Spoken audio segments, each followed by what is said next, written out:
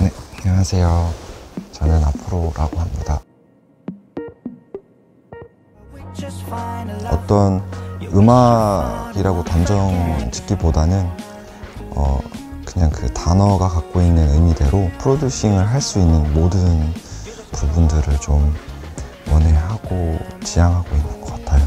음악 하나만으로 제가 표현하려고 하는 그런 주제나 어떤 음, 감정들을 전달하는 데 좀 한계가 있다고 생각을 했어요. 그래서 어, 시각적인 거가 해결을 해줘야겠다라고 생각을 했었었고 늘 ambient들로만 구성이 된 사운드로 어떤 영상을 또 기획해서 프로듀싱하는 그런 작업들도 굉장히 좋아하고 있었고 공간에 관련돼서 기획을 하고 또 프로듀싱을 하는 그런 부분들도 너무 좋아했고 그러다 보니 자연스럽게 이제 전시의 형태들을 프로듀싱하는 거에도 굉장히 매력을 많이 느껴서 어떻게 하면 이 무거운 주제를 캐주얼하게 사람들이 볼 수 있고 또 캐주얼하다고 생각하는 그 주제를 곱씹어서 생각해 봤는데 그런 어떤 비유들이 존재하고 숨어 있는 이유들이 있었고 막 이런 거를 할 수 있을까. 영상적인 거 그리고 눈으로 볼 수 있는 모든 것들을 좀 집중을 하는 것 같아요. 뭔가 저의 모습이라든지. 초등학교 6학년 때부터 춤을 쭉 추기 시작했고 그래서 스무 살 때까지 춤을 췄었어요. 근데 이제 스무 살이 접어들면서 처음으로 한국에서 나오는 음악을 가지고 춤을 춰봤거든요. 뭔가 가사가 일단 한국말이고 그러다 보니까 표현에 있어서 되게 저도 자유로워지고 좀 더 직관적이게 표현을 하게 되더라고요. 그래서 어, 내가 만든 음악으로 춤을 춰보고 싶다라는 생각을 갖 게 됐고 마이크를 잡고 플레이어로서 활동하는 것도 좋지만 내가 누군가를 한번 제작을 해보고 싶다로 생각이 바뀌게 됐어요. 처음에 작업할 수 있게 됐던 거는 이제 DPR 라이브 근데 좀 뭔가 보였던 것 같아요. 이상적인 어떤 꿈이 명확하게 설정이 되어 있는 엄청 대단하다 비전이 잘 잘 될 수밖에 없겠다라는 생각을. 지금은 이제 회사 같은 그 그룹의 친구들과 함께 호흡을 하면서 좀 더 프로듀서에 관한 어떤 세계관이 조금 더 확실해져서 그 친구를 통해서 처음 그런 문화들을 알아가고 그리고 되게 좋은 어떤 서로한테 영향을 받았던 것 같아요.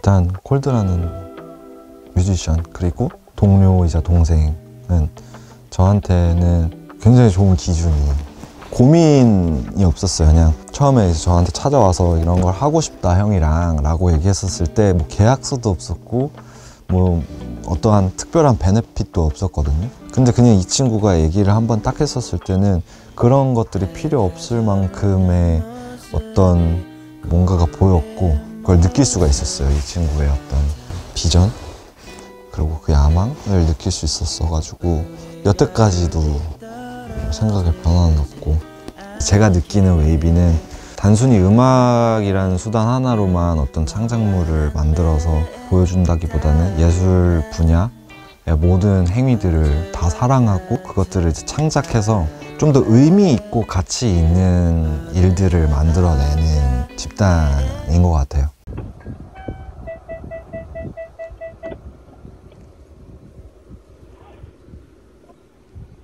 다양한 작업을 하면서 이제 개인 작업이라고 생각하는 것들을 하나 두 개씩 모으게 됐었거든요. 콜드랑 얘기를 이렇게 나누면서 그 친구가 저의 이런 아카이브를 한번 쭉 보더니 형 이거는 앨범인 것 같다. 또 파운더답게 그렇게 또 길을 또 만- 제시해 주더라고요. 처음엔 이제 EP로 방향을 잡고 가벼운 마음으로 왜냐면 이게 뭔가 정규라고 하면 제가 너무 멋부릴 것 같은 거예요. 욕심도 너무 많이 들어가고 그래서 가벼운 마음으로 EP를 내야겠다 해서 이제 몇 개를 작업을 했는데 그러다 보니까는 작업이 막 이렇게 많아진 거예요. 이왕 이렇게 된 거 조금 더 나의 이야기를 과감하게 오픈을 해서 정규로 방향을 잡아보자 라고 생각을 했고 이 앨범에서는 누군가가 나한테 너 어떤 사람이야 라고 물어보면은 이 physical CD 한 장 주면서 이게 나니까 음, 이게 그냥 나라고 생각하면 돼 라고 할 정도로 나를 대변할 수 있는 앨범을 만들자에 좀 더 집중을 했고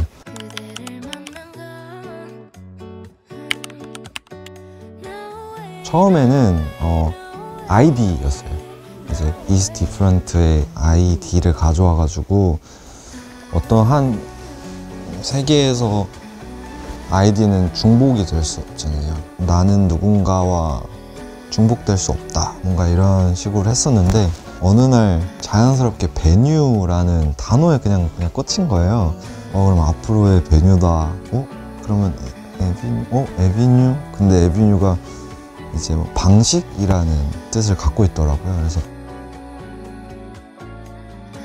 뮤지션을 선정하는 데 있어서 저의 어떤 인간적인 성향이 좀 나타나는 것 같아요. 그래서 저는 다 친구가 될 수 있거든요. 제 성격상. 기존에는 뭔가 매력적인 부분을 느꼈다라고 생각이 들면 그냥 바로 작업을 했는데 이 앨범 같은 경우에는 좀 제가 여태까지 알고 지냈던 그런 뮤지션들, 그런 아티스트들이랑 작업을 해야겠다라고 생각을 했고 굉장히 그냥 자전적인 앨범을 만들고 싶다 보니까 거기에 이제 함께 해주는 인물들도 자연스럽게 제 친구들이 설정이 됐던 것 같고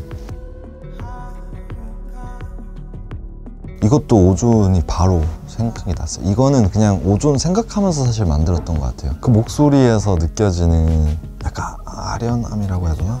되게 설득력이 강한 것 같아요. 다 다른 저희가 삶을 살고 있지만 어쨌든 집에서 오늘 아침에 출근하셨을 거고 일 마치면 다시 다 집으로 돌아가잖아요. 근데 그 집이라는 어떤 어, 오브제가 우리를 다 다른 우리를 어쩌면 똑같은 사람이다, 똑같은 삶을 살고 있다로 만들어줄 수 있는 어떤 장치가 되진 않을까. 택시에서 집에 돌아가면서 뭔가 듣고 싶은 곡이었어요. 제가 집에 가면서 좀 이렇게 지친 어떤 정신과 육체를 좀 이렇게 치유할 수 있는 그런 게 생각이 나서 이렇게 곡을 만들었던 것 같아요. 그리고 좀, 좀 심플하거든요. 다른 트랙들에 비해서. 스코어적으로 이렇게 많은 사랑을 받진 않더라도 그냥 오랫동안 들을 수 있는 음악으로 한번 만들어 보고 싶다.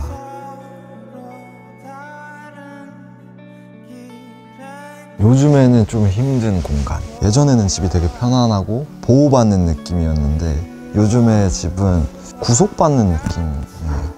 그 안에서 편안하게 잠도 못 자고 뭔가 굉장히 뭔가를 해야 할 것 같고 ENFJ인데 제2의 형태로 치열하게 뭔가를 계속 집에서 강박이 있는 것처럼 뭔가를 해야 돼 해야 돼 하다 보니까 원래 집이 갖고 있는 형태보다 더 작게 거잖아요. 엄청 답답하고 사실 이 앨범이 어, 저는 표현하고 싶었던 게 어, 이게 온전히 나의 이야기지만 음, 너의 이야기도 될 수 있어. 어, 다른 나지만 되게 아이러니하게 우리는 또 같아. 네, 이 얘기를 하고 싶었던 앨범이거든요.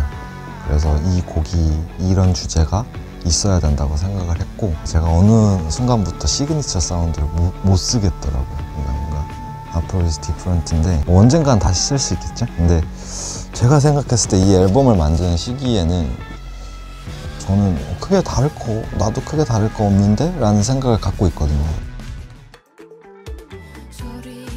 국민 대배우 우리 유아인 배우님과 뭔가 한번 이렇게 작업을 만들어 보자라는 얘기를 했었었거든요. 이번 앨범의 타이틀곡이 있는데요.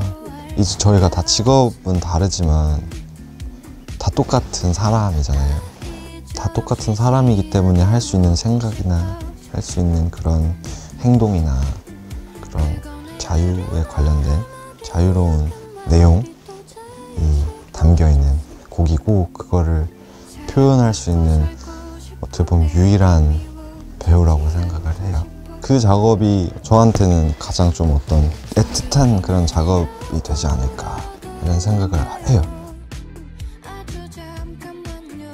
제가 생각하는 그냥 프로듀서가 좀 추상적이더라도 어떤 한 장르에 구속되지 않고 이렇게 프로듀서다라고 얘기할 수 있는 만들어 놓고 싶어요 그런 기반을 국내에서 너 직업 뭐야? 그럼 프로듀서 이러면 아 그 쇼미더머니 나오는 혹은 뭐 아 심사위원 아 뭐 어떤 가수 노래 만들어주는 사람 이런 게 아니라 그냥 아 어떤 거를 창작해내고 만들어내는 제작자구나 그냥 프로듀서구나 이렇게 받아들일 수 있게끔 뭔가 하는 게 프로듀서로서의 어떤 제 가장 멀리 있는 목표인 것 같고요.